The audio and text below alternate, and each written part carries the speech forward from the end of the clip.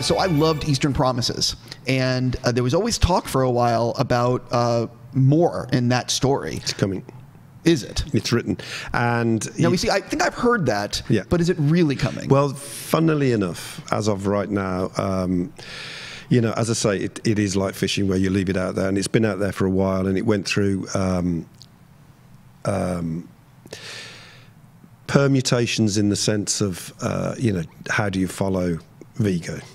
So we've been through that, and we've moved on, and now we're in a position where um, I will say, watch this space, but we're we're close to getting into production.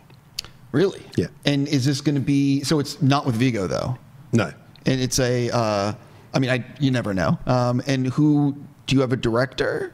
Yes. I can't really talk about this yet, but yes, it. I we don't do wanna have. get you in we- trouble. no, we do have a director, and, and we are out to a couple of really good actors. I completely get it. So you do you think this could actually be filming this year? Yes.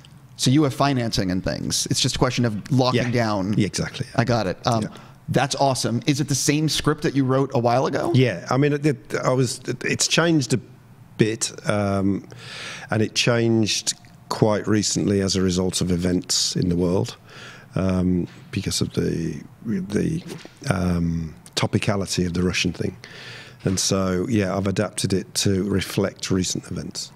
I don't want to get you in any more trouble, but I cannot wait.